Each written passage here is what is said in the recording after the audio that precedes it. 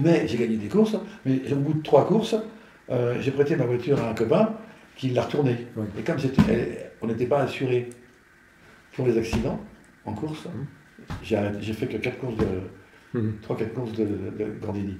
Mais les courses de Gordini, je te dis très honnêtement ce qui s'est passé, j'allais pas beaucoup plus vite que les meilleurs pilotes du plateau. J'arrivais à gagner les courses quand même. Mhm. Mais, ce qui, mais je trouvais ça très difficile à conduire. Et puis, j'ai trouvé impossible à conduire, difficile, elle se levait dans les virages, elle retombait, quand tu touchais les bordures, c'était je affreusement difficile.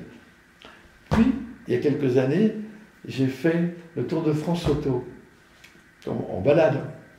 C'est pas une course véritable, mais il y a un endroit, pour Arnos, on s'était des chronos.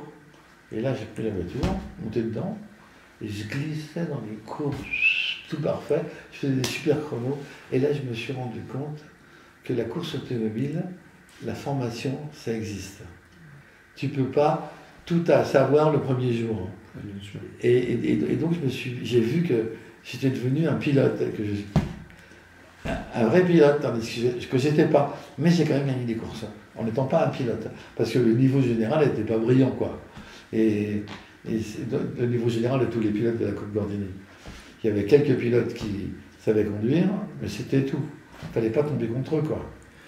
Et, mais même en sachant conduire, ils étaient pas bons, mais, mais, mais, mais meilleurs que les très mauvais. Mhm. Mhm. C'est pour ça que j'ai réussi à gagner des courses quand- sans savoir conduire.